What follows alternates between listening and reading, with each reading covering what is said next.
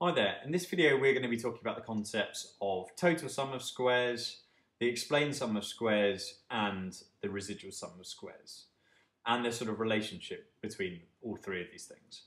So we can think about us as having some sort of data for two variables, xi and yi, where yi is the sort of thing that we are trying to explain with our model.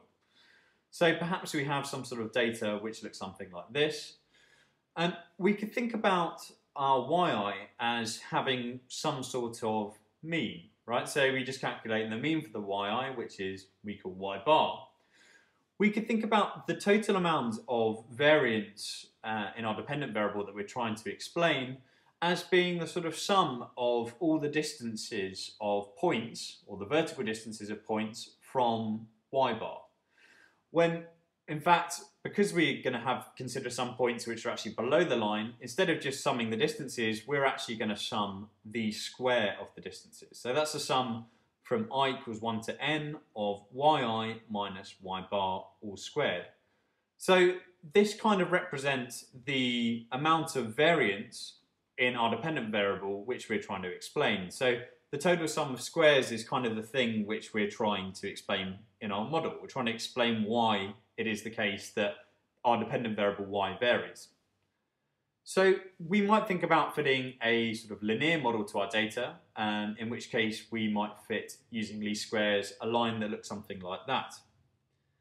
And for each value of xi, our model suggests a value of yi, which isn't identical to the value of yi which we have in our sample, it's the series of points which lie on our line. And we could do that for each of the points in our sample.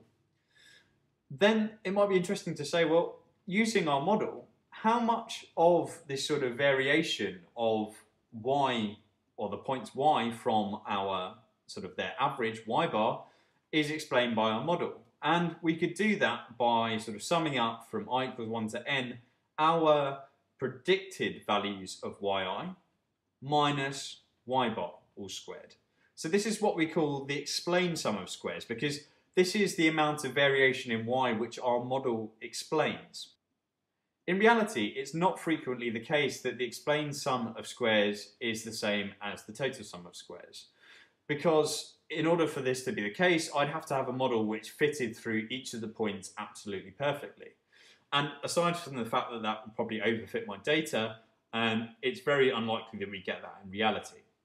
So in reality, the explained sum of squares is less than the total sum of squares. So the explain of the explained sum of squares as a ratio of the total sum of squares is somewhere less than one.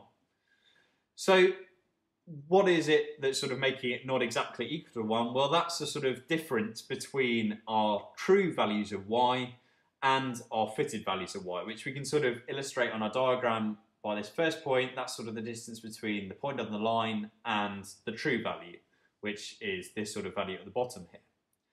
And we call this sum of squares, we call it the residual sum of squares because it's the sort of amount which is left over after our model has tried to explain the data. And we represent that by the sum of the true values of y minus the fitted values of y all squared. When again we're squaring such that we get um, we, we treat positive and negative distances equally.